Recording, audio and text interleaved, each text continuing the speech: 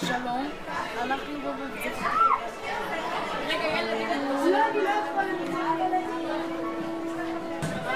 שלום, אנחנו כאן עם תלמיד בית הספר. אתה תלמיד תקשורת? תודה. איך קוראים לך? רוי רוי, מה אתה לומד בתקשורת? לערוך סרטים ו...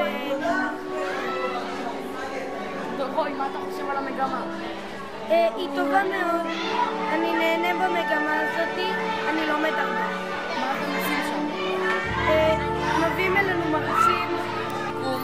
רואים שכל הזמן בתקשורת לומדים דברים חדשים.